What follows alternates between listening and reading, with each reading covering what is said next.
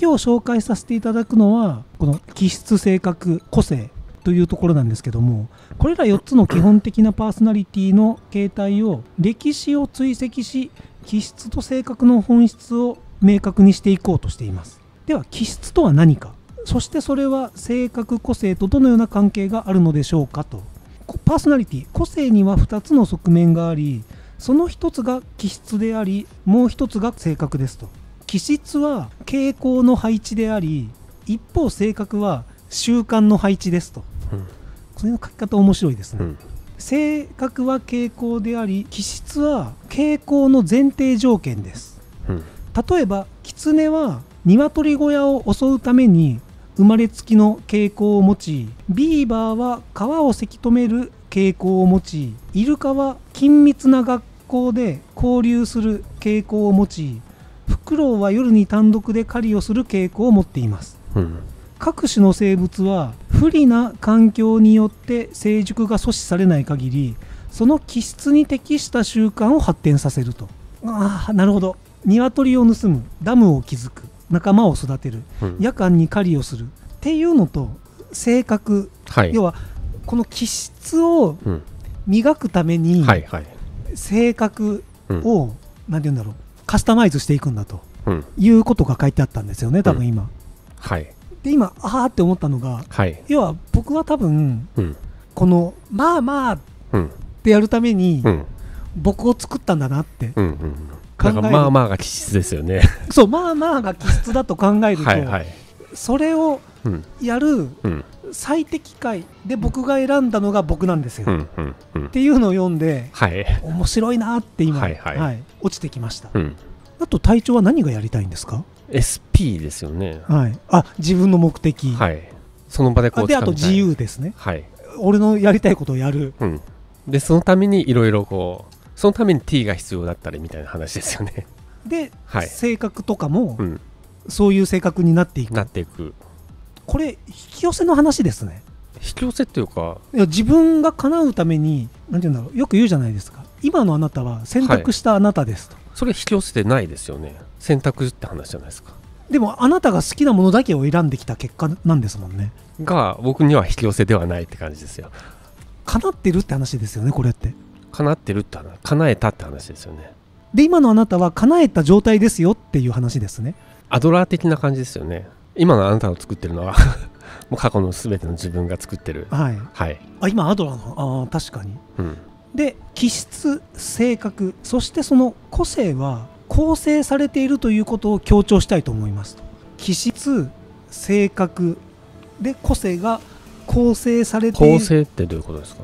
プログラムされているってことですかね、はい、はい、これはつまり特定の態度を他の態度とは異なるものとして発展させる傾向があるだけでなく特定の行動を他の行動とは異なるものとして発展させる傾向があるということを意味しています。そして行動と態度は統一されており一貫性を持っています。したがって SP タイプは自己イメージを芸術的な行動大胆さ状況への適応性に基づいておりこれらの3つの特性は必然的に共に発展していきますと。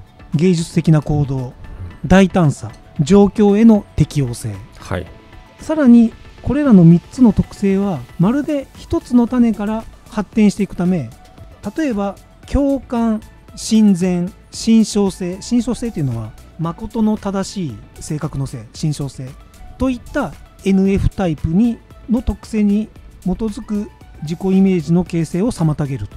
うん、もう一回。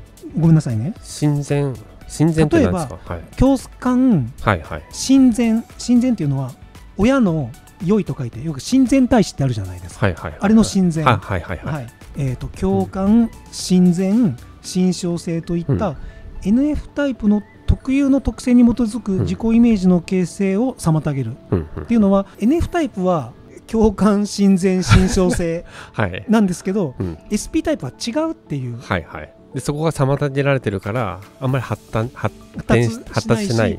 逆に僕は自己イメージの行動大胆さ状況への適応性よりも、うん、多分まあまあなんですよ多分、はいはいはい、まあまあを僕がなんでまあまあってやってるかわかんないみたいな感じですよね、っていうもしかしたら僕はこれをはい。自己犠牲として捉えたのかもしれません、はい。自己犠牲真面目さとして捉え、うん。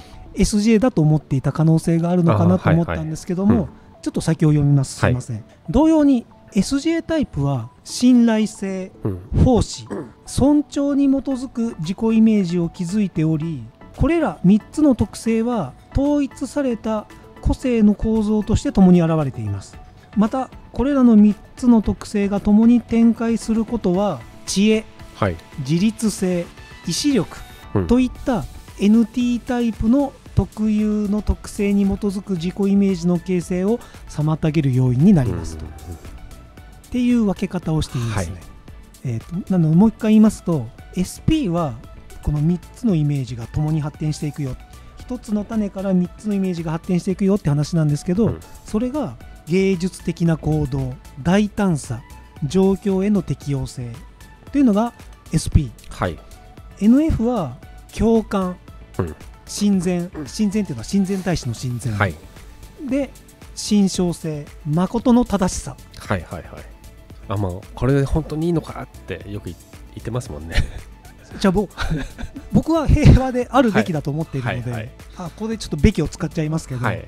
すいません。で SJ タイプは信頼性奉仕尊重に基づくうん。自己イメージ。うん。で NT タイプは知恵自立性意志力うんうん。なのではい。よく私は NT の人とはい。ぶつかるなっていう印象はあるんですけど、はいはいはい。多分反対だからですかね。発達してない互いに発達してない。ああなのかな？ていうのを言ってるんあーその捉え方ありがとうございます。昨日の動画の中で、はい。えー、と INTP の方に言われたのが、うん。なぜ二等兵さんが、はい。この議会側に立とうとしてるのかが意味が分かりません僕もわからないですなんかね、えー、とその思いは、うん。かわいそうっていう思いとはい。ああともう一つうん。みんながこっちが正しいって言ってるんですよ、はいはい。あの主張側を、はいでこっち側に入るとうん。目立てないなっていうのもあるじゃないですか、まあ、逆張り？うん。僕の中での逆張りです。あまあその多分矛盾があるんですよね。なるほど、何が矛盾してますか？その正しいって言いつつ守ろうみたいな。でもそうするとこう 市民のためにはならないって言いつつ。あこれは僕は矛盾なんですね。はい。あこっちから見て矛盾に見えるって話ですよね。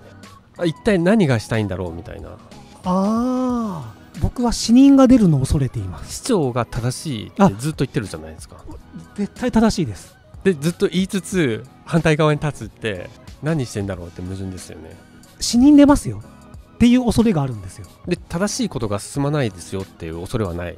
で死人が出ることでこれが止まってしまうっていうのを恐れています。死人が出たら進むかもしれないですよ。何かが。柔軟。はい。はい。あっていう矛盾が見えるってだけの話で。ああこれは矛盾なんですね。だから何を言ってるんだろうって感じですよ。僕指摘されて初めて分かりました。はい。よく昨日の動画を見見てくださった方で、はい。何をやってるのかが分からないっていう僕もこう僕話しながら何やってるのかわからないって感じですもんね。ああ僕は何なんで分からないんだろうって。で多分終わった後 何が目的なのかみたいな、聞かれましたね、はいやりたかったのはだってはい。喧嘩してるのをまあまあってやりたくてはい。このままだと死人出ますよ。はい。だから物事を進めることよりもまあまあの方が優先的って感じでですよね。まあまあのが早いかもしれないよねっていうのもあるじゃないですか。でも早いっていうのはことが早く進むですよあでも NT にとっては進めたいことが正しいことが進まないんだったらですよね。正しさがあるんですよね。正しいことが進まないんだったら意味がないわけじゃないですか NT 的には。これは。僕 NT じゃなくて SP なので、まあ、適当に。自分はどっちに乗るかみたいでねな感僕はねじですよこれをねちょっと面白いと思っちゃうんですよ。はい。はい、はい